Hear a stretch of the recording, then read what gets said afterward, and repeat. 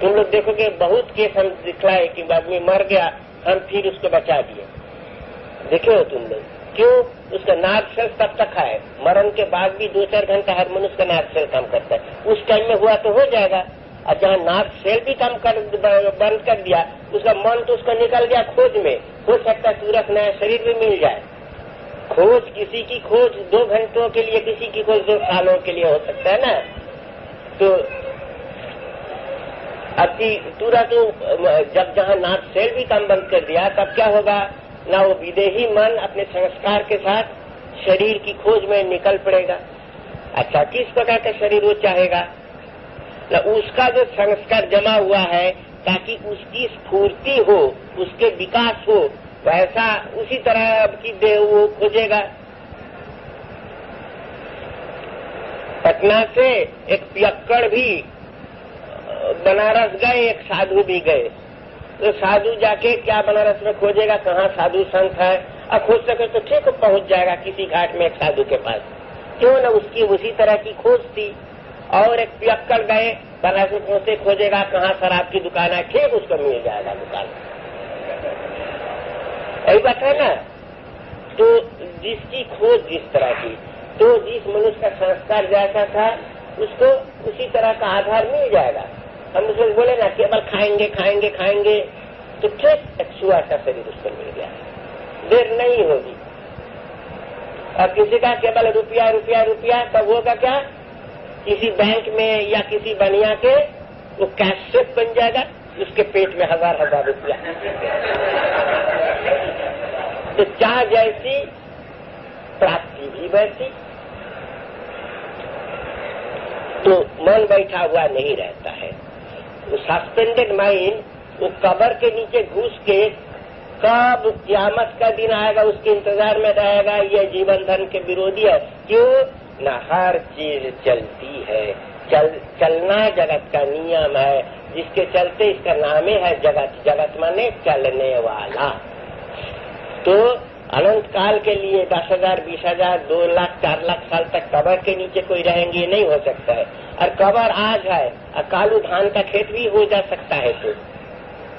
आज जिस जगह में कबर, कल उस जगह में धान का खेत हो जाएगा जी। तब तो ये अजौक्तिक है, ये तुम लोग मत मनो, और होता है क्या? ना, जहाँ लोग मन और रूह में क्या पार्थक्य है ठीक से समझ नहीं सकते हैं, वही लोग ऐसा कहते हैं।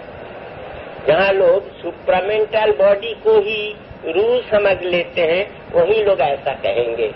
जिनमें सही फलसफा का ज्ञान है, सही दर्शन का ज्ञान है, वो ऐसा नहीं कहेंगे।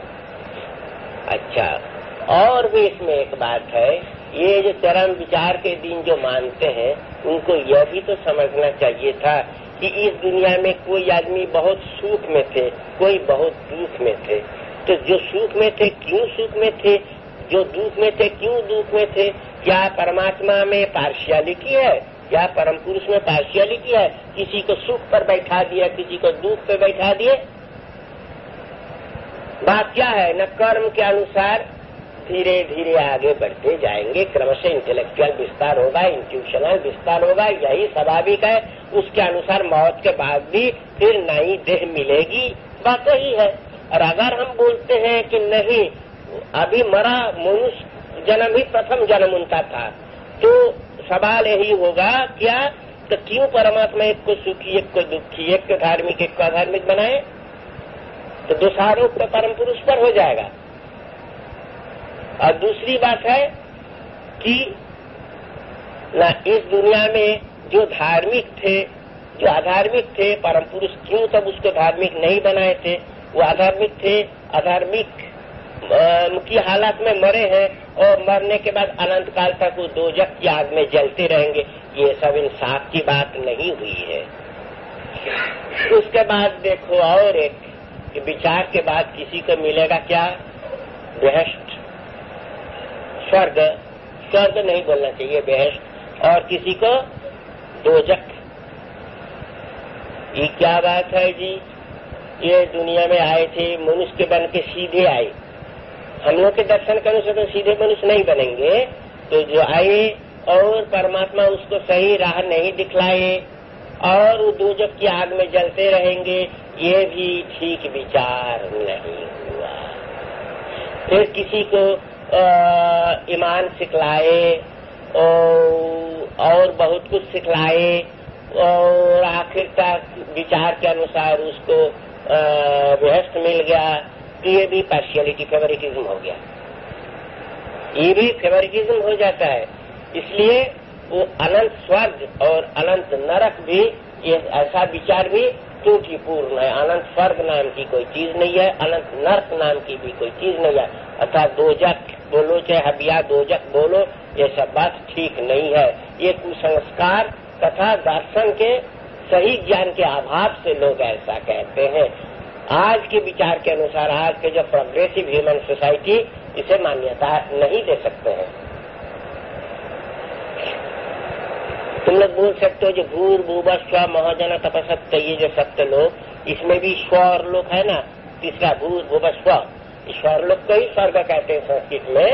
अर्थात मनुष्य जब सत्कर्म किया, शास्त्र कहता है सत्कर्म किया, स्वर्ग का लोभ था उसके मन में। तो जब तक वो सत्कर्म किया तो सत्कर्म का जो कैपिटल पूंजी उनके पास है उसके भोग के लिए वो स्वर्ग जाता था, पुराने ख्याल के लोग कहते थे।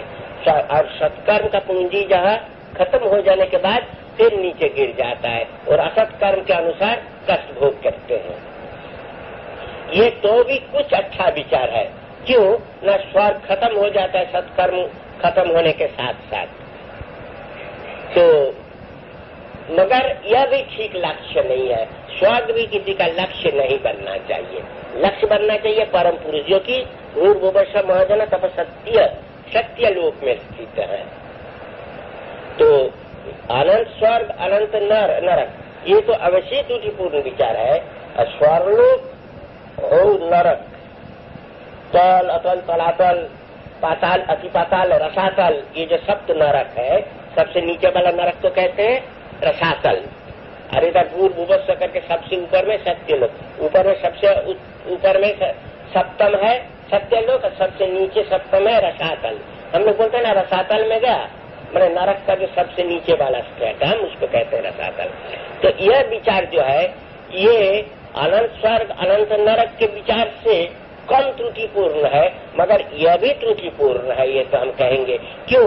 न मनुष्य जब कर्म करेंगे उनकी वासना उनकी इच्छा के अनुसार उनकी गति होगी, यह बात तो ठीक है। किंतु पहले जो स्वर्गवास होगा, पीछे नरकवास होगा, इसका प्रमाण क्या है? हो सकता है तो पहले नरकवास होगा, पीछे स्वर्गवास होगा। इसलिए ऐसा विचार, इस तरह के विचार कभी हम लोग प्रोत्साहन नहीं दे सकते हैं। यद्यपि यह कम त्रुटिपूर्ण है। तो इसमें तुम लोग ये समझ गए कि सबसे पहले मनुष्य का जीवन आया ये विचार त्रुटिपूर्ण है? दूसरी बात ये, क्यामत के दिन जो विचार होगा, यह त्रुटिपूर्ण है। मनुष्य कहाँ रहेगा कबरगाह में? यह विचार भी त्रुटिपूर्ण है। अनंत स्वर्ग, अनंत नरक, यह विचार भी त्रुटिपूर्ण है। तुम लोग अपना कर्म करोगे और कर्म को ब्रह्मार्पण करोगे। ब्रह्मार्पणम ब्रह्म, अभी ब्रह्मार्पण, ब्रह्म में अर्पण करोगे और करते करते जब कर्म का क्षय हो जाएगा, कर्म समाधि होगी तब सत्य लोक में परम ब्रह्म स्थित हो जाओगे और अनंत काल तक आनंद में रहोगे, यही है सही रास्ता।